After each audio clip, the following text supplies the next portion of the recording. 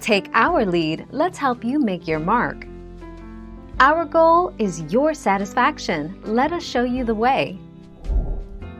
Private schools, specifically, ones that do not receive federal funding, are not required to implement instruction based on the Common Core, nor must they mandate standardized testing.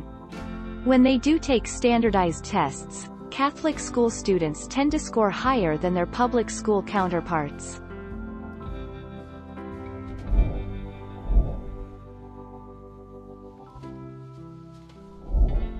Take our lead.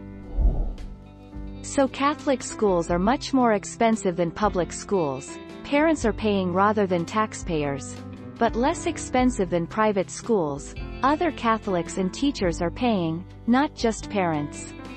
Most Catholic elementary and high schools are heavily subsidized by the parishes within their catchment. Thank you for watching. Please subscribe and hit the bell notification.